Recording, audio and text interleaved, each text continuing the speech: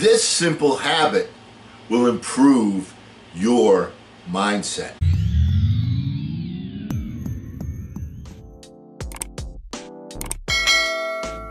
Hello again everyone, I'm Eli's dad with Project Eli, where we educate, we lead, and we inspire. And that's the title of an article by a lady named Glad Doggett that is outstanding. I'm going to read it to you. It's fabulous. This simple habit will improve your mindset.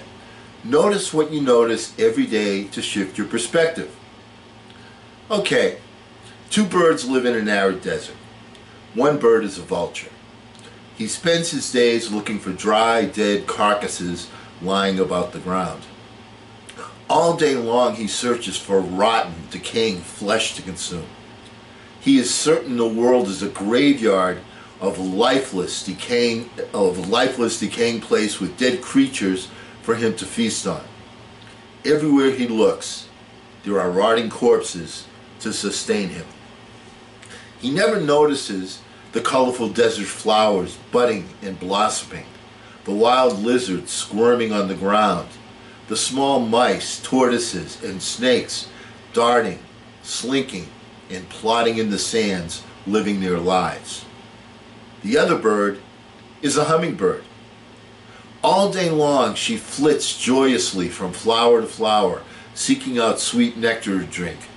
She's convinced the world is an Eden of vibrancy, color, and life. Everywhere she looks, there is evidence that she shares a lush paradise with other creatures. She never notices the dead animals scattered about the desert floor because she's focused on the bounty and beauty in a place that's teeming with life and wonder. Both birds fly over the same desert every day. The only difference is each one has its own unique mission to find what they're looking for. Each bird looks for evidence to prove their outlook about the world is correct. And they are always proven right. They find exactly what they look for. What you think, you become. What you feel, you attract. What you imagine, you create. So says Buddha. So which bird are you? It's been said so many times that it's become cliche, but it's true. Energy flows where attention goes.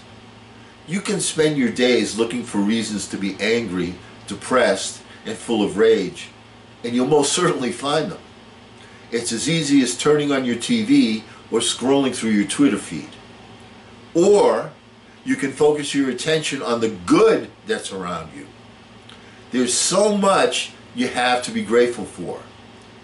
What would happen if you, like the hummingbird, purposely focused your attention on the good that's all around you? Your current blessings don't have to be monumental to have an impact on your mindset. The hummingbird flits among the smallest flowers to seek out nectar. And when she finds a juicy flower, she rejoices and drinks. So notice what you notice.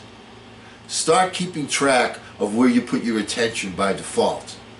If you intentionally focus on what's working right now rather than what's wrong, your outlook and perspective will shift. We all have the power to decide what we'll do, who we'll be, and what types of lives we're going to lead. The bottom line is this. What you notice consistently influences your energy, your energy influences your attitude, and your attitude influences your life. Rather than giving all your attention to the bad, put laser focus on what's good. Make a habit of noticing where your attention is focused. You'll always find the type of world that you're looking for. Wasn't that a great article? Once again, big shout out to a lady named Glad Doggett for, for this article.